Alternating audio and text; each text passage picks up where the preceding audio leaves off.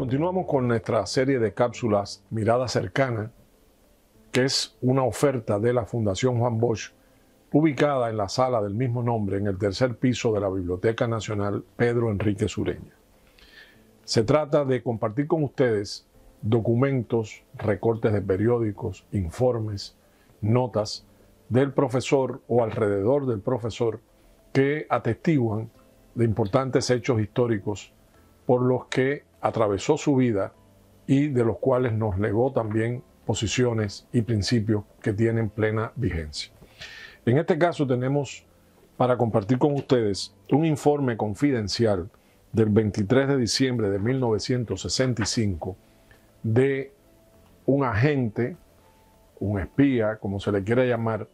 dentro de la fila de los militares que informaba al PRD sobre hechos importantes o